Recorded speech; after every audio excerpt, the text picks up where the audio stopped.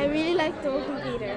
I liked how they um, showed it all by dancing, not like talking. My favorite part was when the wolf was dancing.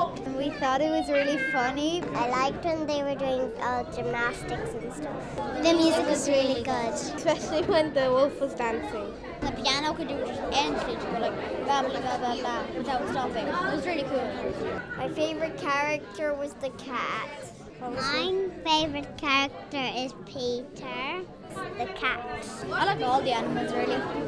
They're all really funny. I Yeah. think everybody should go and see this Yeah, show. me too. There's some funny parts, some scary parts, and some sad parts. I'd give it a 10 out of 10. 10 out of 10. 100 out of 10.